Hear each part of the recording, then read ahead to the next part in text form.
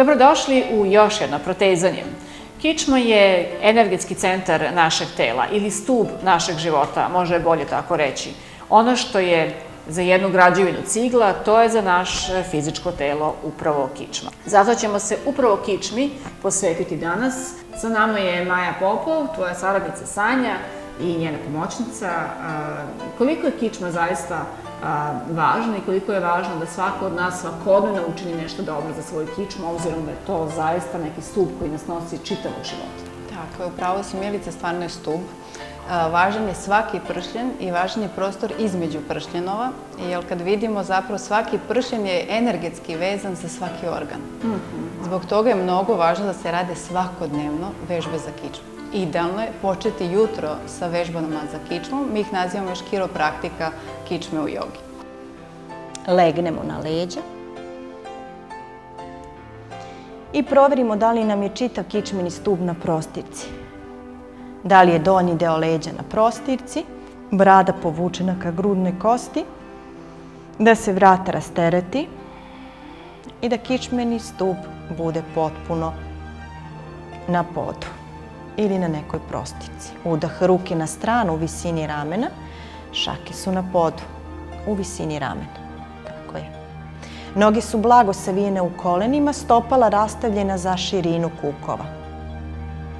Udah je u položaju, sa izdahom pod kolenice idu desno, glava levo i levo rame ne odvajamo od prostirke.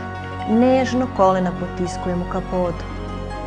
Udah, vratimo se u centar, lagano s pažnjom i izdah pod kolenice levo, glava desna. Obično kad pomislimo na kičmu, prvo pomislimo na istezanje, prema naravno postoji neke vežbe snage koje su takođe važne za kičmu. Mi ćemo danas akcent staviti na istezanje kičme. Šta svako od nas eto, ujutro ili u toku dana može da učini za sebe i za svoju kičmu? Pa upravo to, lagano istezanje i pojačavanje neke energije kroz kičmu, ona nam automatski poboljšava i raspoloženje. Da bi se uopšte kretali zapravo, treba da podmažemo svaki pršljen na neki način, a pošto smo videli da je vezan za organe, automatski se pojačava cirkulacija i rad organa. Šta najviše, odnosno gde najčešće grešimo kada je kičma u pitanju i šta naša kičma ne voli da je radimo, a mi smo uporni u tome? Svakako ne voli opterećenje.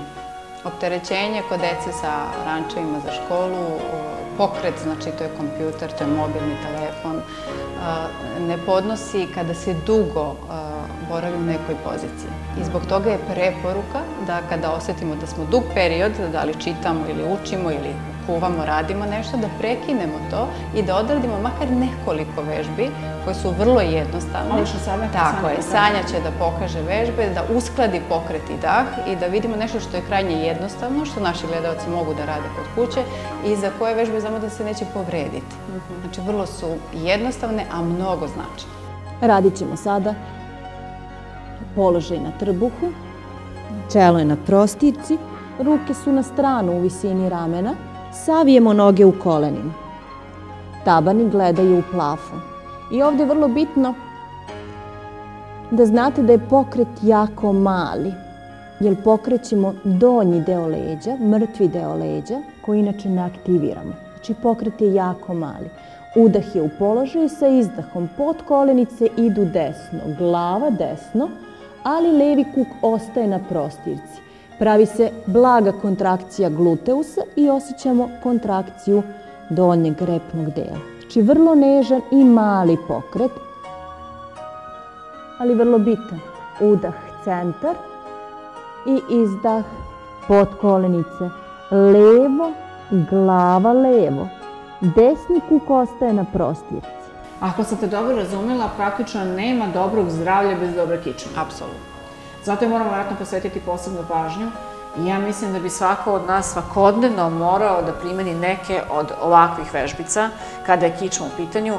Ja verujem da ono što je zagrevanje za celo telo, da je to zapravo istezanje za kičmu. Kičmu ćemo se još baviti jer ona to zaslužuje, ali u nekom sledećem protezanju.